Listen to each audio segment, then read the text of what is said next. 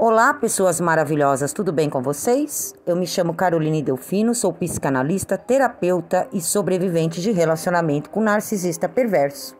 No vídeo de hoje, eu vou falar sobre narcisistas buscam as suas reações emocionais. Esse vídeo é muito importante e todos vocês precisam assisti-lo até o final, até como uma maneira de poderem se blindar das maldades, das crueldades da pessoa narcisista. Portanto, se é a sua primeira visita ao canal, não esqueça de se inscrever, aperta aí o sininho para não perder mais nenhum conteúdo. Para todos que estão assistindo a esse vídeo, já deixem o like de vocês para ajudarem o canal a crescer e bora pro vídeo aqui comigo. Narcisistas eles são viciados em suprimentos narcísicos, mas muitas vítimas acreditam que o suprimento narcísico do narcisista é somente o sexo, o dinheiro, o status, morar em um bom lugar, ou, por exemplo, ter diversos amigos, ou ser muito bem visto por aí, as vítimas elas realmente acreditam que suprimentos narcísicos são somente suprimentos residuais. E não. Narcisistas, eles se alimentam das nossas emoções e das nossas reações. Então, mesmo que você esteja ali muito tranquila ou muito tranquilo, que vocês estejam num dia muito bom, a pessoa narcisista, ela vai causar um caos na tua vida. Ela vai simular uma briga, ela vai dar uma mancada, ela vai dizer alguma coisa que vai te deixar nervoso ou nervosa. Por quê? Porque o alimento da pessoa narcisista não são somente coisas residuais, bens materiais. Não, não é somente isso, o carro do ano, ou a casa, ou a casa na praia, ou o dinheiro na conta. Não, não é somente isso. A pessoa narcisista, ela também se alimenta da dor das outras pessoas, ela se alimenta da admiração das outras pessoas, ela se alimenta da fixação das outras pessoas em relação a ela. Ela também se alimenta da obsessão das vítimas em relação a ela, do amor ou do ódio das vítimas direcionados para ela. Narcisistas, eles gostam de ser o centro, não somente das atenções, mas o centro da vida das pessoas. A vida das pessoas tem que girar em torno da pessoa narcisista. Então é você ficar ali bravo o dia inteiro pensando no que a pessoa narcisista te fez. Nossa, olha a mancada que ele me deu. Olha o que ele disse para mim hoje de manhã. E aí você passa o dia inteiro mal. O dia inteiro sem, sem conseguir produzir no seu trabalho, o dia inteiro sem conseguir conversar com alguém, o dia todo chorando escondido, e é isso que a pessoa narcisista quer. A pessoa narcisista quer ter essa ciência de que ela controla o teu humor, ela controla a tua vida, ela controla o teu dia, ela controla os teus sentimentos. E muito melhor se você tiver essas reações na frente dela. Ela se alimenta com isso. Então, se ela ver você triste, bravo, nervosa, querendo briga, gritando, xingando. Nossa, isso é um alimento para a pessoa narcisista, porque aí ela vê o quanto ela é importante para você, mesmo que de uma maneira distorcida, mesmo que de uma maneira negativa, ela mais uma vez se coloca como centro da sua vida. Olha só, a pessoa está aqui sapateando por minha causa.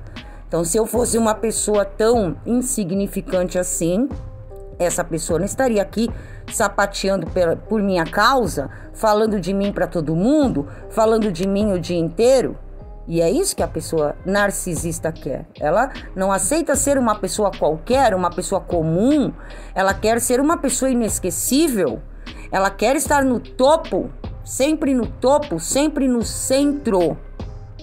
E é por isso que ela se alimenta também das suas reações emocionais. Por isso que o método para neutralizar pessoas narcisistas, para fazer com que pessoas narcisistas morram de fome, é exatamente o método da pedra cinza, que é quando você não oferece mais reações emocionais às provocações da pessoa narcisista.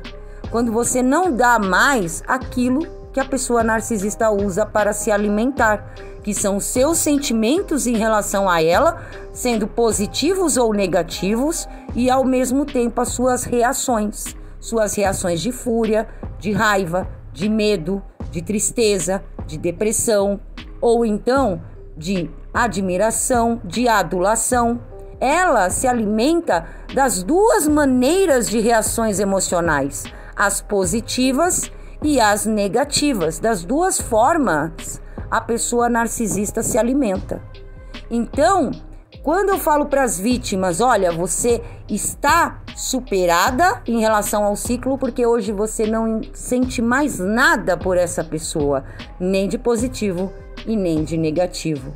Essa é a verdade. Quando a vítima ela ainda sente muito ódio, quando ela sente muita raiva, quando ela quer destruir a pessoa narcisista, e isso é até compreensível, mediante todo o abuso que ela passou, é porque a pessoa narcisista ainda tem uma importância na vida dela. Ela ainda oferece ligações emocionais para a pessoa narcisista ela ainda tem ligações emocionais com a pessoa narcisista, mesmo que seja de uma maneira negativa. Quando a pessoa narcisista ela deixa de ter um significado tanto bom quanto mal, é porque a vítima realmente conseguiu superar, conseguiu sair do ciclo.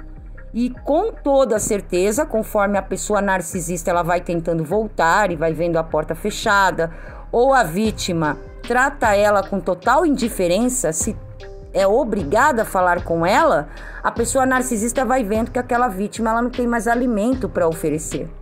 Ela não oferece mais reações emocionais e não oferece mais sentimento algum. Então, a tendência é que a pessoa narcisista, com o tempo, desista dessa vítima e comece a tirar suprimentos de outras vítimas que ofereçam o que a pessoa narcisista tanto quer, que é ser validada, independente de ser uma maneira positiva ou negativa, mas ela tem que estar sempre ali no centro, no topo, dominando tudo, controlando tudo, sabendo que ela controla os sentimentos e os pensamentos daquela vítima. Então, se você quer se livrar da pessoa narcisista, além do contato zero, trabalhe o desligamento emocional que você tem com essa pessoa, por pior que você tenha sofrido na mão dela. A meta é que você não sinta nada por ela no futuro. A meta é que você sinta indiferença por essa pessoa, porque qualquer sentimento, bom ou ruim, que você direcionar para a pessoa narcisista mostra que você ainda está, de alguma maneira, preso ou presa dentro desse ciclo. E a pessoa narcisista adora isso. O que, ela quer? Ela quer ser inesquecível, ainda que seja como a pessoa que mais ferrou com a tua vida que mais te prejudicou. O que ela quer é ser inesquecível, é ver que passaram-se tantos anos e você ainda tem raiva dela, você ainda tem ódio, você ainda deseja que ela morra, que ela pague por tudo que ela fez e tal.